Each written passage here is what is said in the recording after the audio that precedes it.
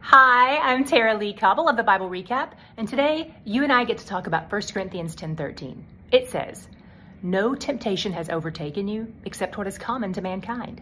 And God is faithful. He will not let you be tempted beyond what you can bear, but when you are tempted, He will also provide a way out so that you can endure it. What a relief, right? This verse, it's a quote from the Apostle Paul in his letter to the church that is widely regarded as the most wicked church in Scripture. He knows they're struggling. And in the verses prior to this, Paul talks about the specific temptations their people have struggled with throughout history idolatry, sexual immorality, and grumbling. Maybe it's surprising to see complaining listed alongside sexual immorality. But in today's verse, Paul points out that these are common issues even among God's people.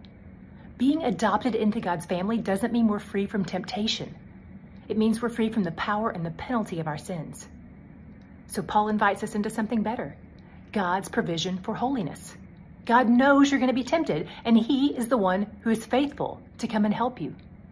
In the verses that follow, Paul reminds us of why and how we have access to God's help. It's because we've been united with Christ. The Spirit of Christ dwells in you and empowers your obedience, Christian. He won't let you be tempted beyond what He'll empower you to resist, but it's His power, not yours. Temptation is no respecter of persons. It shows up for everybody. But when it shows up for God's kids, so does the God given power to stand firm or to run the other direction. So, where are you tempted today? Is it one of the areas where God's people have often struggled? Idolatry, sexual immorality, grumbling and complaining? Ask Him to help you. He is faithful.